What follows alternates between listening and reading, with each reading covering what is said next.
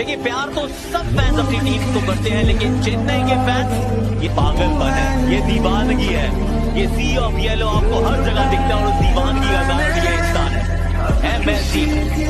वो जीत लिए है। वो कह रहे मैंने कॉन्कर की थी माउंट एवरेस्ट और आपने मेरा दिल कॉन्कर किया है। वो खिलाड़ी नहीं वो जज्बात है। वो एक इमोशन है। सीएसके और एमएसडी दो नाम अलग अलग है, लेकिन उसका अर्थ ऐसा लगता है एक ही है।